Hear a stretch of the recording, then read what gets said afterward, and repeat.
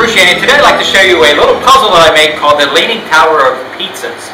Uh, it's kind of a takeoff on the idea of the Leaning Tower of Pisa. Which is always a good subject when looking at center of gravity and where an object needs to be supported for it to be stable.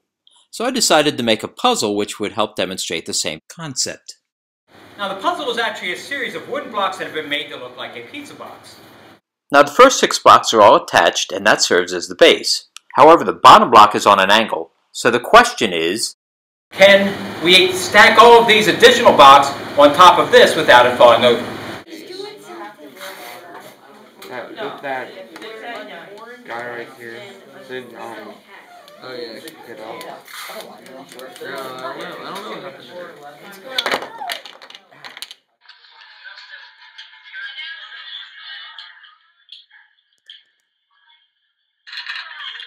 That's the challenge.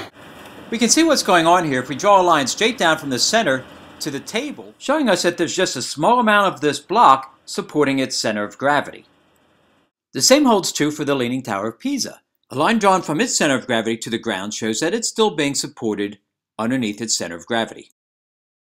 Now when I add a block on top, it's going to shift the center of gravity up and over just a little bit. And if I trace that down, we'll see the center of gravity no longer has support under it, so it starts to fall over. The same thing would hold true for the leaning tower. If it were to lean any more, it would no longer be supported underneath its center of gravity, and it also could fall over. Now fortunately, there appear to be thousands of people that go to Pisa each year that are willing to hold up the tower and keep it from falling. However, I'm not really sure if this is helping. So how do I arrange this? The solution is to stack the blocks and stagger their positions in the opposite direction of the lean. This is going to keep the center of gravity up over the bottom of the block where it is getting supported. That support would follow a line right about here. As long as you don't try and stack it too far in the opposite direction, you should be able to stack the blocks and have success.